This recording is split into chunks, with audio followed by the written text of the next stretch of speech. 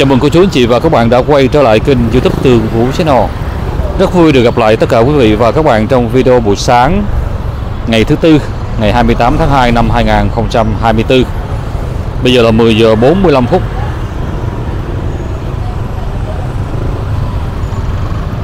Hiện tại chúng ta đang có mặt ở trên con đường Nguyễn Tri Phương hướng về bên ờ, quận 10 Trong buổi trưa ngày hôm nay Tường Vũ Channel kính mời ờ, quý vị và các bạn chúng ta cập nhật tình hình ờ, Sài Gòn, đặc biệt là quận 10 để xem thử tình hình ngày hôm nay ra sao. Mặc dù chúng ta cũng đã chuẩn bị kết thúc tháng 2 năm 2024 rồi và chuẩn bị bước sang tháng 3 năm 2024 mà như quý vị thấy thì phải nói ờ, tình hình kinh tế hiện nay nó vẫn như thế nào đó thấy nó cũng điều hiu mà nó ảm đạm. Nhiều nơi buôn bán kinh doanh thì nó cũng ế ẩm lắm ờ, cô chú anh chị. Từ đó đã dẫn đưa đến những căn nhà người ta phải bỏ trống rất là nhiều tháng và phải nói mặc dù ăn Tết xong nhưng mà mặt bằng ở nơi đây cũng trả lại rất nhiều. Đặc biệt các ờ, con đường quận 10, quận 5 của chúng ta thì phải nói cái việc mà nhà đóng cửa dẹp tiệm xảy ra tràn lan điều đó cho thấy là kinh tế nó vẫn đang còn quá nhiều khó khăn. Và đặc biệt thì ngày hôm nay, Tường Vũ Channel sẽ mời à, quý vị và các bạn chúng ta đi trên à, con đường Nguyễn Tri Phương này. Ở đây là quận 5 Sài Gòn nè. Bên phía à, trước màn hình chúng ta thì có một số quán nhậu buổi tối thì mới có khách thôi. Ban ngày thì người ta không có mở bán bán lai rai thôi. Nhắc đến việc là quán nhậu thì phải nói cái chuyện mà phá sản đóng cửa nó cũng đang xảy ra rất là nhiều ở Sài Gòn trong ờ, những cái tháng ờ, vừa rồi. Nói chung một phần là cũng do về kinh tế nó suy thoái rồi, việc mà đo nồng độ cồn ở tại ờ, à, Sài Gòn đang rất là gắt gao, cho nên phần nào đó cũng hạn chế. Bà con đi ăn uống nhậu nhẹt.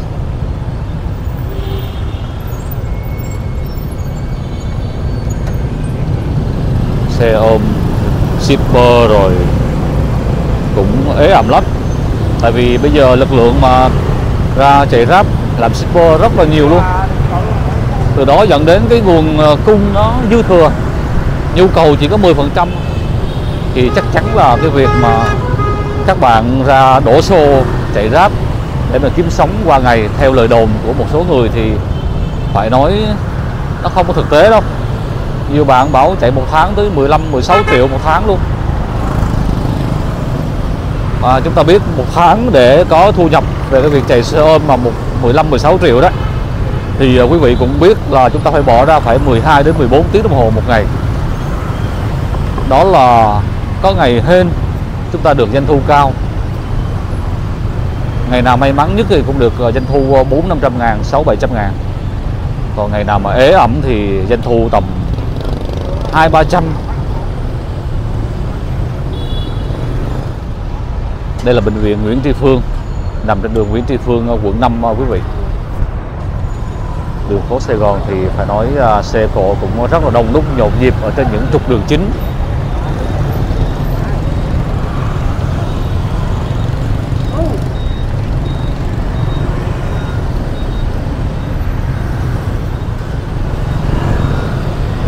Và để bắt đầu video trong buổi sáng ngày hôm nay, Tường Vũ Channel xin à, kính chúc quý vị và các bạn có một uh, tuần uh, làm việc thành công có những ngày nghỉ cuối tuần với gia đình thật hạnh phúc. Cảm ơn ờ, quý vị đã dành thời gian ủng hộ và đồng hành với kênh youtube Tường Vũ Channel. Xin kính chúc cô chú anh chị và các bạn luôn luôn hạnh phúc và bình an.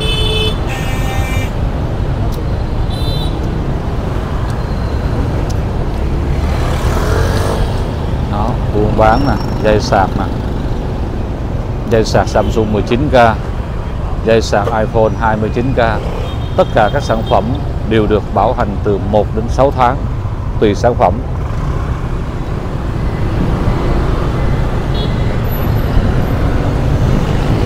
Đoạn này người ta chuyên bán về xe máy nè quý vị.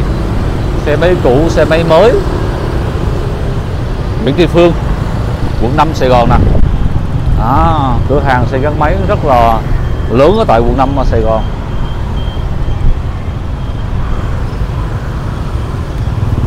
Phía bên kia thì có mấy căn nhà đóng cửa cho thuê thuê mãi. Cho thuê mãi mà vẫn không thể nào cho thuê được.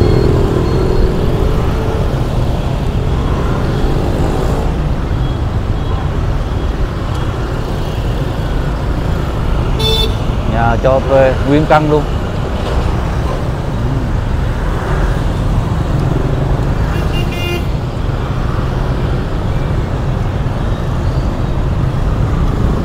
Nhà cho thuê nguyên căn trên đường Nguyễn Tri Phương quý vị. Mặt bằng rất lớn luôn. Khu vực này gần với chợ An Đông quận 5 nè.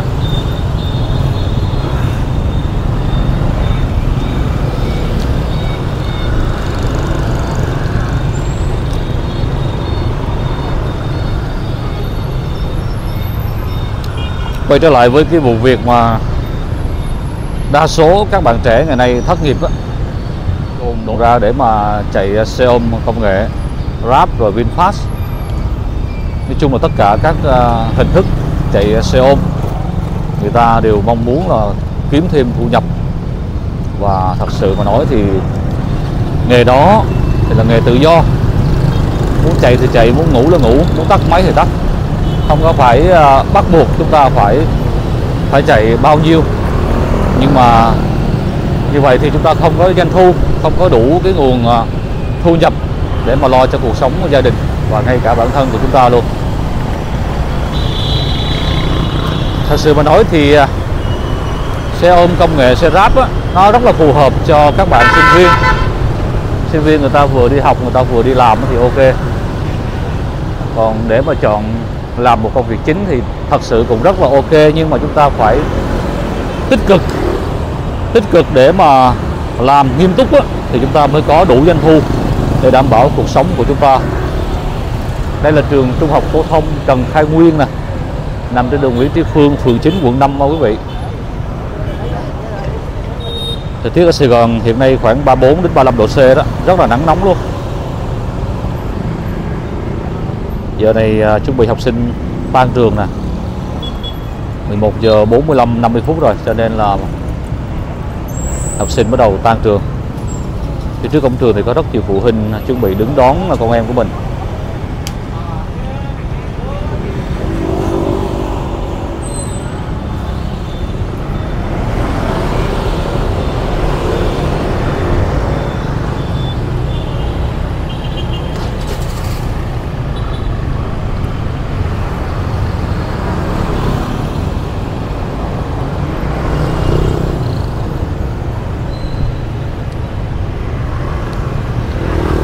Tình hình buôn bán, sức mua nó vẫn ế ẩm.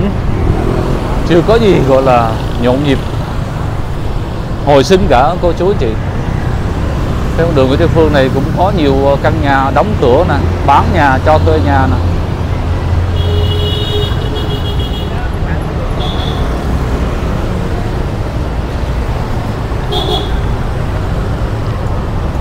Ngã sáu Nguyễn Địa Phương, ngã sáu Minh Mạng.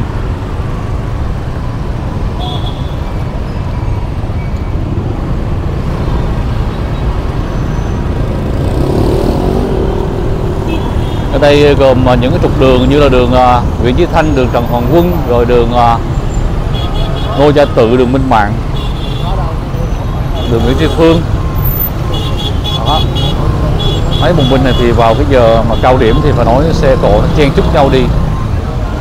Ai chiếm quyền ưu tiên lợi thế nhất thì sẽ chạy nhanh hơn thôi.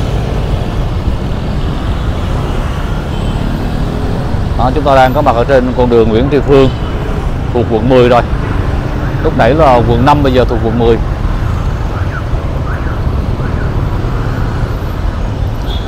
đường Nguyễn Tri Phương này là nổi tiếng về con đường ẩm thực ở quận 10 có nhiều món ăn hủ tiếu rồi giải khác mà chúng ta thấy là đa số người ta cũng bắt đầu đẩy lên app để bán online. Trường Đại học Kinh tế Thành phố Hồ Chí Minh quý vị. Đó. cơ sở Nguyễn Tri Phương.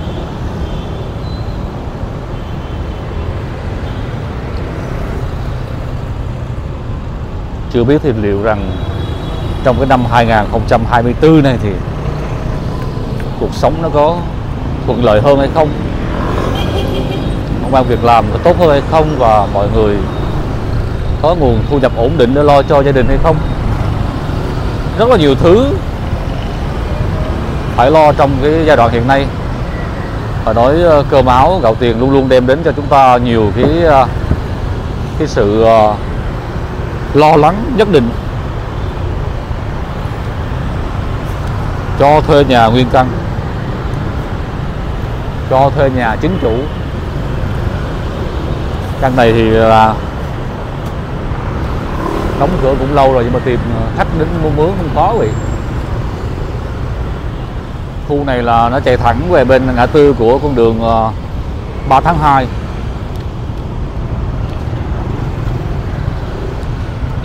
phố này là phố ẩm thực, chuyên về ẩm thực quý vị. Đối diện với ờ, trường học kinh tế thành phố Hồ Chí Minh nè.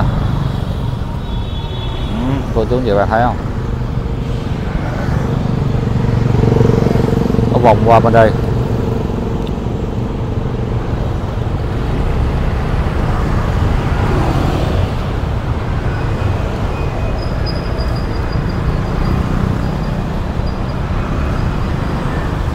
tình hình buôn bán nó quá khó khăn, nó dẫn đưa đến những cửa hàng, những công ty, hàng quán đành phải ngậm ngùi, cay đắng để mà đóng cửa.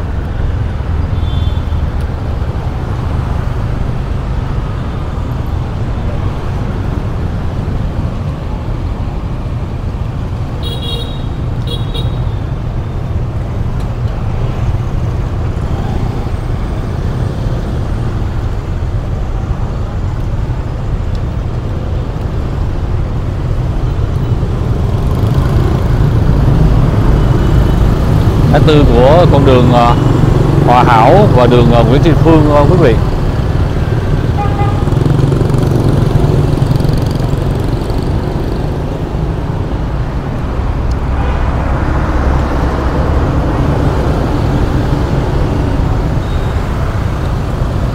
Phải nói con đường này đúng là con đường ăn uống. Quá trời món ăn uống luôn quý vị đó, bên này căn cho thuê nhà nguyên căn nè cho thuê nhà nguyên căn chính chủ luôn. 3 tầng một trệt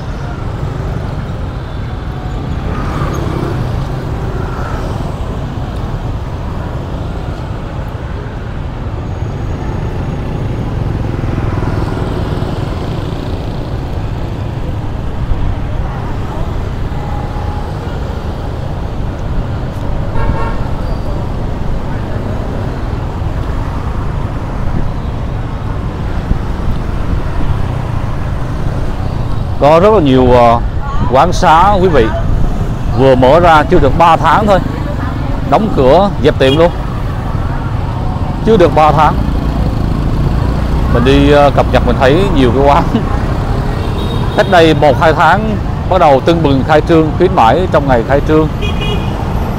Rồi ờ, ba bốn tháng sau đi lại thấy trả mặt bằng đóng cửa dẹp luôn điều đó cho thấy là khách không có luôn ờ, cô chú anh chị. Mà mặt bằng thì trả tiền quá cao. Họ không kham nổi đâu.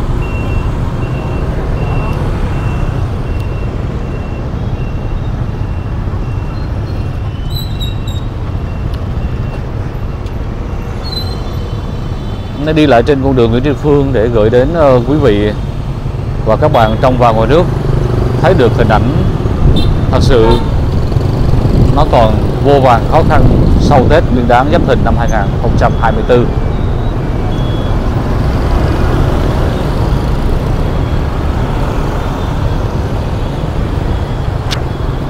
Nhà cho thuê hàng quán thì đó, cô chú anh chị các bạn thấy.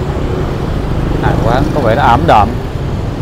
Khách cứa thì không biết là họ mua như thế nào, họ bán như thế nào mà thấy có vẻ nó nó ảm đạm lắm đó quý vị trời nắng nóng thì chè thái thì ngon nè, bán đông khách nè, chè thái ý phương nè.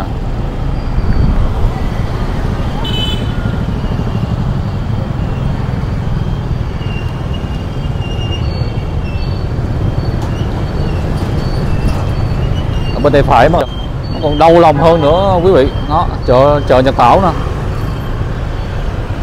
Chợ truyền thống nhắc đến là hết muốn nhắc luôn, tại vì nó quá là thê thảm buôn bán không được. Tiểu thương trong chợ thì họ sang sạp, trả sạp, không buôn bán nữa. Chợ truyền thống bây giờ phải nói tìm một cái bài toán, một vị giáo sư về kinh tế để mà đưa ra những cái cái bài toán, những cái cái phương pháp để mà giải được cho cái chợ truyền thống của Việt Nam chúng ta, đặc biệt là những cái chợ truyền thống ở tại Sài Gòn đó, nó quá khó khăn. Chợ truyền thống bây giờ là phải nói, tiểu thương bán trong chợ là hầu như họ tuyệt vọng rồi, họ chán nản. Họ không còn một chút động lực nào để mà mở bán nữa. Tối về ngủ nghĩ đến sáng mai 9 giờ, mở cửa bán, thấy nó nản cái gì đâu luôn. Mở cửa, dọn hàng lâu bụi bặm khách thì không có.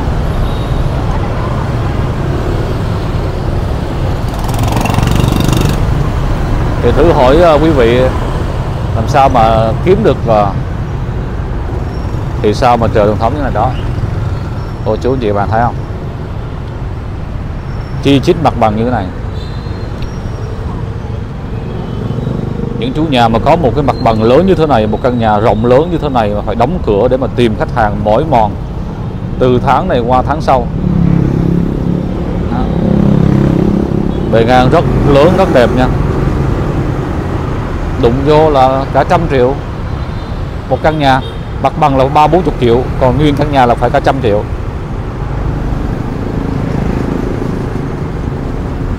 Cho nên à, chúng ta thấy rằng chủ nhà cho dù có giàu đi chăng nữa thì cái tài sản mà bỏ bỏ trống như vậy thì đương nhiên là người ta phải phải xót xa rồi.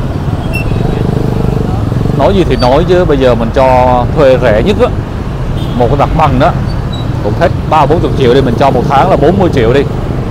Bỏ trống một năm cũng đã bao nhiêu rồi? 500 triệu rồi. 500 triệu một năm. Thì thử hỏi quý vị thấy là cái sự tiếc nuối như thế nào, xót xa như thế nào? Chưa kể là cơ sở hạ tầng nó xuống cấp.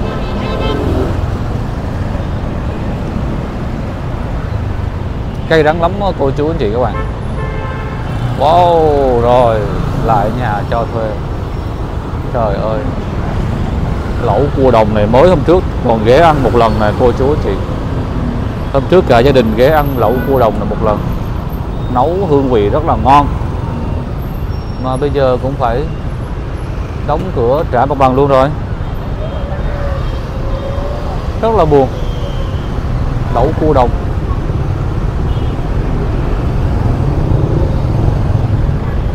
Thì có hai nguyên nhân mà để dẫn đến những cái thảm cảnh như thế này hiện nay của những nhà buôn bán kinh doanh đó, cô chú anh chị.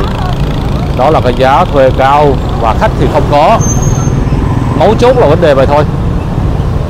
Giá thuê mặt bằng thì cao mà khách thì không có thì tự hỏi, sớm hay muộn gì cũng không thể nào bám trụ nổi, không thể cầm cự nổi. Vào kẹt xe luôn. Ngã tư thành thái, nguyễn tri phương đó quý vị?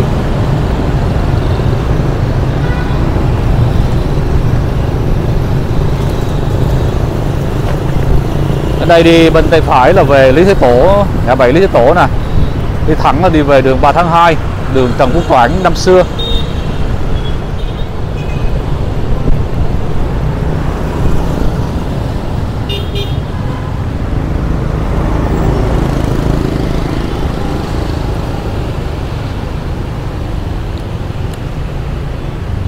Đây là cầu vượt thép đường 3 tháng 2 và đường Nguyễn Tri Phương Thành Thái à, quý vị. Đi thẳng của đường này chúng ta sẽ đi về bên à, ngã 6 Dân Chủ, công trường Dân Chủ.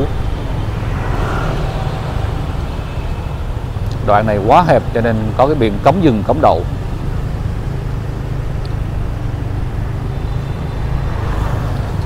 Thật sự mà phải nói à, tình hình xe máy ở Việt Nam của chúng ta, ở Sài Gòn chúng ta chạy rất là ẩu luôn. Chạy phải nói là không biết à, luật giao thông đường bộ gì cả. Khủng khiếp thật.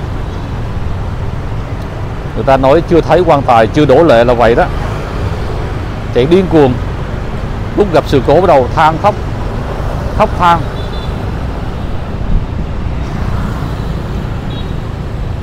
Chạy vượt tốc độ. Chạy ngược đường vượt đèn ngược chiều rồi, nhà cho thuê nữa cô chú anh chị các bạn ơi. Nhà cho thuê nguyên căn.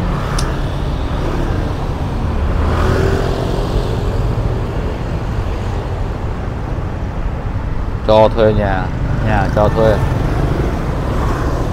Nói chung là đường 3 tháng 2 mà cái đoạn à, cái đoạn này này, nó sẽ rất là đắt luôn. Giá cho thuê cũng cao và nhà bán giá cũng cao luôn à, quý vị.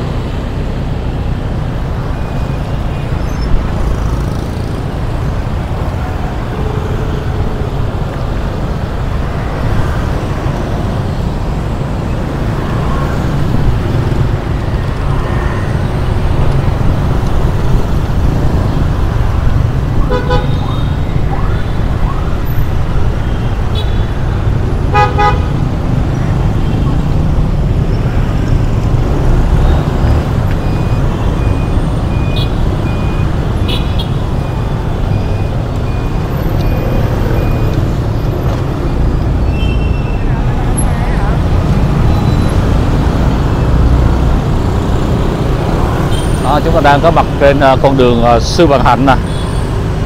Đây là một trong những à, tuyến phố về sức khỏe. Ăn uống giải trí luôn. 3 tháng 2 Sư Vạn Hạnh Nguyễn Tri Phương. Và đặc biệt thì nói về phố sức khỏe ăn uống chỉ có trên con đường Nguyễn Tri Phương và con đường Sư Vạn Hạnh của chúng ta mà thôi quý vị.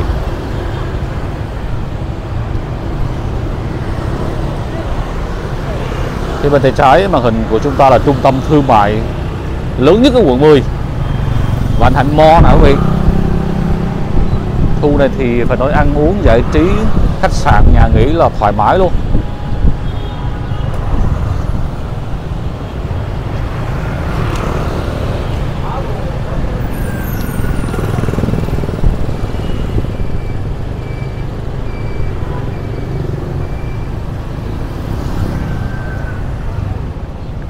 Bằng trên ờ, con đường ờ, Sư Vạn Hạnh này thì cũng trả lại rất là nhiều, đóng cửa, dẹp tiệm cũng rất là nhiều luôn.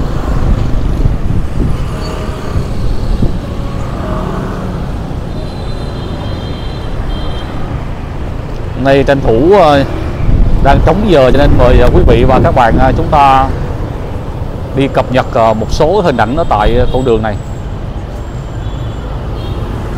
Để gửi đến quý vị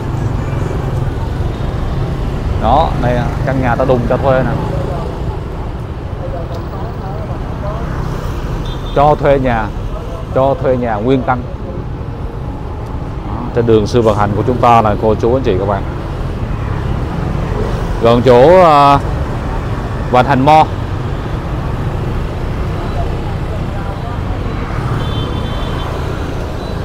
Phố này cũng nổi tiếng về dịch vụ karaoke ngày xưa đó nhưng mà sau này thì cũng dường như là dẹp hết rồi.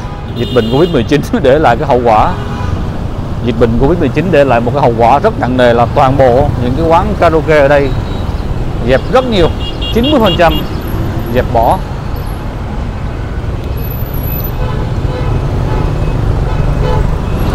Hồi xưa mà nhắc đến à, con đường à, Sư Vạn Hạnh thì ai cũng biết là nổi tiếng à, về dịch vụ karaoke. Đó, cô chú anh chị các bạn. Hết nhận ra con đường nổi tiếng ẩm thực karaoke năm xưa. Người ta hay gọi là phố ca hát. Bây giờ nhìn nó rất là sơ sát với những căn nhà mãi mãi đóng cửa triền miên.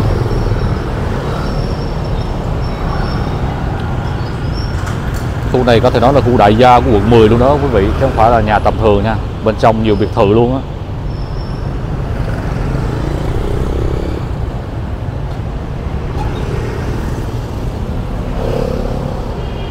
Cây đắng quá.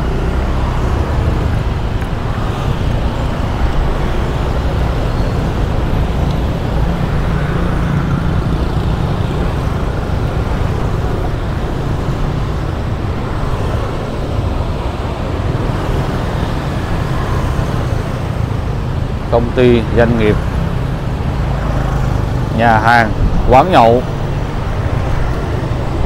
đóng cửa rất là nhiều bây giờ thật sự mà nói một bạn mà ra trường nộp hồ sơ phỏng vấn xin việc, rất là khó khăn luôn nha cô chú anh chị. Rất là khó khăn.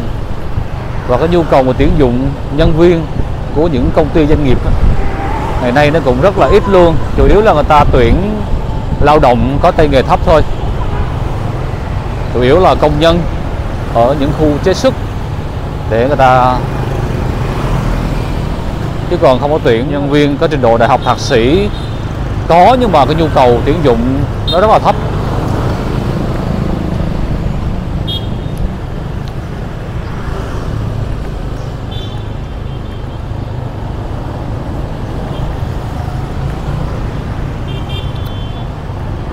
Thật sự bây giờ muốn tìm à, mức lương 10 triệu một tháng cho một nhân viên văn phòng cũng rất là gây go phải ờ, có bằng cử nhân, tốt nghiệp loại khá giỏi trở lên và có trình độ Anh ngữ xuất sắc. Bên cạnh đó chúng ta còn có nhiều chứng chỉ phụ khác nữa thì mới mong rằng có cơ hội mà kiếm được những cái việc làm nó tốt hơn, có mức lương cao ổn định hơn. Anh chị biết là ngày trước thì à, cái việc mà tuyển dụng vào hệ thống ngân hàng, làm nhân viên ngân hàng thôi, nhân viên giao dịch nhân viên thẩm định giá cho ngân hàng về bất động sản đó. Hồi đó họ kiếm lương rất là cao, một tháng là năm, bảy chục triệu, cả trăm triệu á. Ừ, trường đại học ngoại ngữ thì học public nè. Ở bên đây có căn cho thuê nó mới nè. Căn này mới rồi, quý vị ơi. Cho thuê chính chủ nguyên căn nè.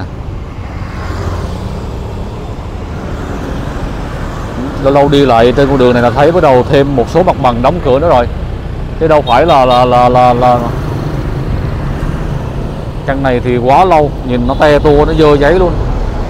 Tại vì bỏ lâu quá thành cái bãi rác luôn. À. bên trong chỉ là mảnh đất trống thôi rồi ai thuê thì người ta tự thiết kế setup cho nó phù hợp với cái việc kinh doanh của họ thôi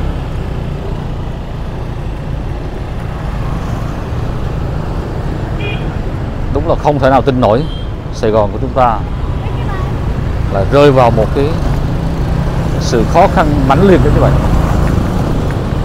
Đúng là không thể nào tin nổi Sài Gòn của chúng ta lại rơi vào một cái tình cảnh rất là khó khăn và thê thảm.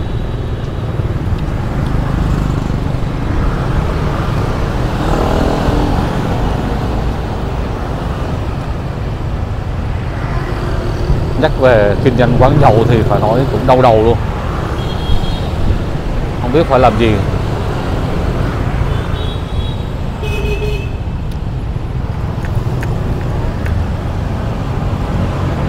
Đó mặt bằng này bây giờ là phải nói à, nó dài từ đây mà sang tới cái đầu kia. Này là cứ à, một đoạn này là, là nguyên cái tòa nhà. Ngày xưa là người ta kinh doanh về nội thất đó. đó, mà giờ anh chị thấy là bên trong à, khóa trái bỏ trống hàng loạt, nguyên cái dãy này luôn.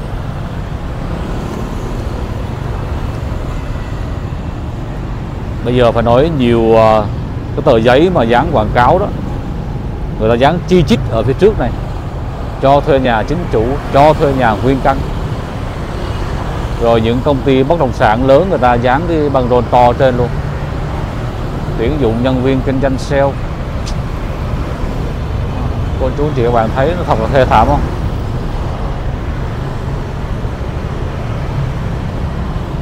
Bề mặt này thì phải nói là chịu không nổi.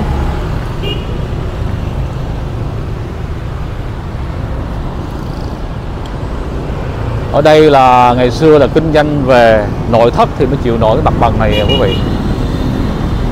Chứ không hề đơn giản nha.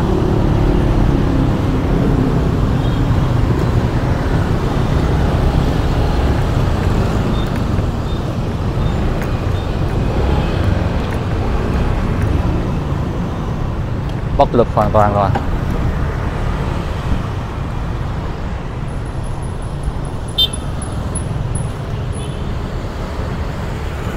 Này là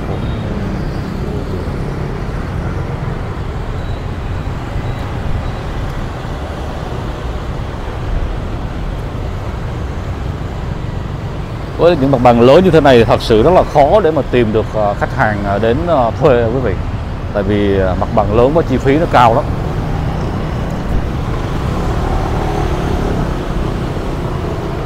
Này phải kinh doanh về các cái công ty lớn thì mới có thể à, thuê được. Chịu chết.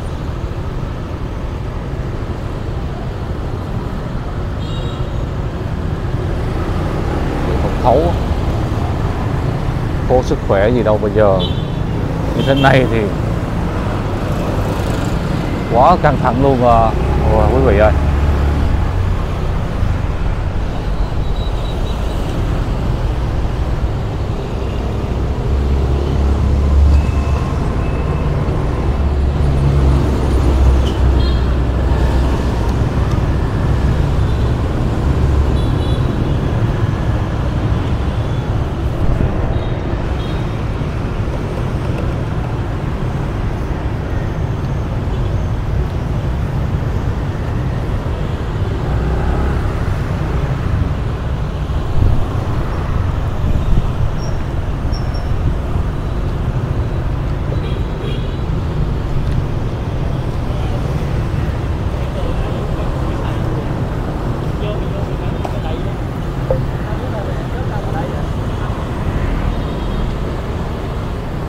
Và như vậy có lẽ những hình ảnh này cũng tạm khép lại video trên kênh youtube Tường Vũ Channel ngày hôm nay.